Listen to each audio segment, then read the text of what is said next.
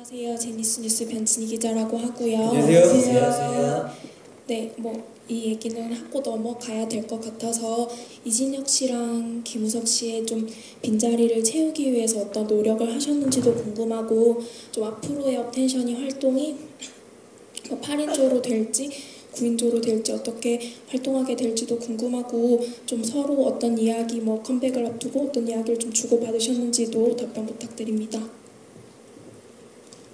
일단 컴백을 앞두고 한 얘기는요. 어, 프로듀스 X101이 끝난 후에 저희는 어, 대부분 이 앨범의 작업이 다 거의 끝마친 상태여서요.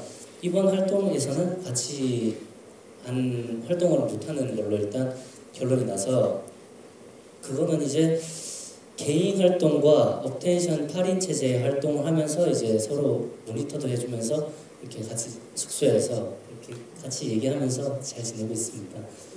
아직까지 네 아직까지 정확하게 정해진 활동 계획은 따로는 없는데요. 네, 어떤 활동을 하든 진혁이랑 우석이 둘 다 너무 활동을 존중하고 또 서로 응원하고 자주 이야기하기 때문에 네, 저희끼리 으쌰으쌰 하면서 서로 화이팅하고 있는 것 같습니다.